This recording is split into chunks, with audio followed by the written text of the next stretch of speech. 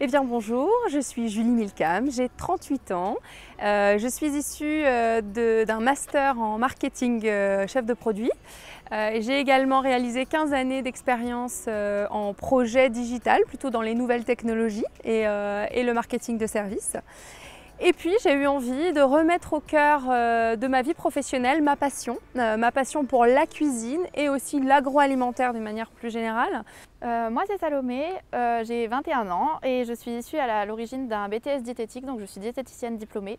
Et euh, la nutrition, c'est quelque chose qui m'a toujours beaucoup intéressée, mais j'avais envie d'être actrice euh, à plus grande échelle et d'agir directement sur euh, la production alimentaire pour pouvoir participer à l'offre d'une alimentation de meilleure qualité. C'est pour ça que j'ai choisi la licence DRACI pour passer du domaine thérapeutique à l'industrie agroalimentaire. Si j'ai choisi la licence DRACI, mais pourquoi? Parce que c'est une licence très complète. À la fois, euh, il y a de la théorie euh, sur des, domaines très, euh, très poussés, que ce soit la biochimie, la nutrition ou encore la qualité. Euh, et aussi euh, un côté très pratique avec des cours de cuisine, de formulation, euh, mais aussi des rencontres avec des vrais professionnels qui, qui vous partagent leurs expériences. Et la licence Dracy, il s'avère que sur le territoire français, c'est la seule qui propose une option d'art culinaire appliquée. En fait, on a des réels cours de cuisine et des projets avec des industriels partenaires. ça permet aussi d'avoir une clé d'entrée dans ce milieu professionnel et c'est vraiment très enrichissant.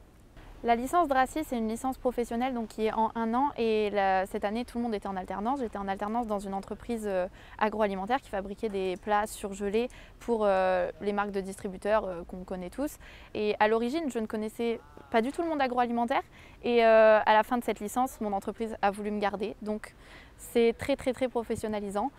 Un petit conseil euh, pour tous ceux qui voudraient intégrer la licence. Si vous lisez la liste euh, des choses que nous pouvons réaliser pendant une année et que vous vous dites c'est vraiment ce que je veux faire, allez-y foncez. Peu importe d'où vous venez, vous pouvez candidater et faites comme moi une reconversion professionnelle par exemple. Euh, vous serez, vous serez accueillis aussi les bras ouverts. Si vous êtes curieux et attiré par les découvertes alimentaires et pas peureux de découvrir de nouvelles saveurs, c'est vraiment une licence qui est très intéressante et c'est une belle aventure un régal.